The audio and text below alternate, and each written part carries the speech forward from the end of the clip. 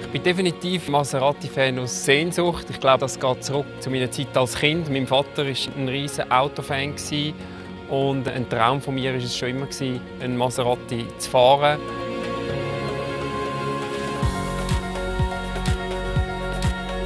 Ich hatte schon immer Affinität für Geschwindigkeit. Zum einen natürlich bin ich schnell auf dem Velo unterwegs und es ist natürlich auch genial, schnell mal einen Pass zu fahren mit dem Maserati. Da kommen sicher ähnliche Gefühle an, einen ähnlichen Adrenalin-Rush. Ironman Triathlon ist natürlich eine Extremsportart und ein großer Teil davon ist, sich am Limit zu bewegen und wissen, wo das Limit ist. Und das ist auch das, was mich fasziniert. Immer wieder rausspüren, ans Limit gehen. Darum trainiere ich jeden Tag. Natürlich auch für ein Ziel, aber auch, es geht mir auch darum, meinen Körper einfach in die bestmöglichste Position zu bringen, so fit wie möglich zu werden, um dann einfach am Wettkampf abzuliefern.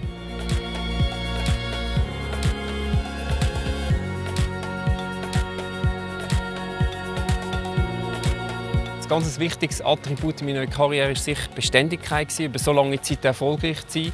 Darum bin ich auch sehr glücklich, dass ich mit Maserati auf so ein beständiges und äh, zuverlässiges Auto bauen. Jeden Morgen, wenn ich in meinen Maserati einsteigen und ich stelle den Motor an, dann ist das einfach ein schöner Moment. Der Motor, der Klang genieße ich jedes Mal.